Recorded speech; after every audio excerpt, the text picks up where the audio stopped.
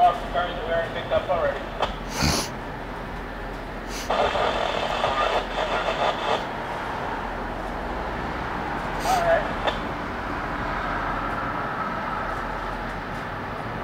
Sorry, I thought we still had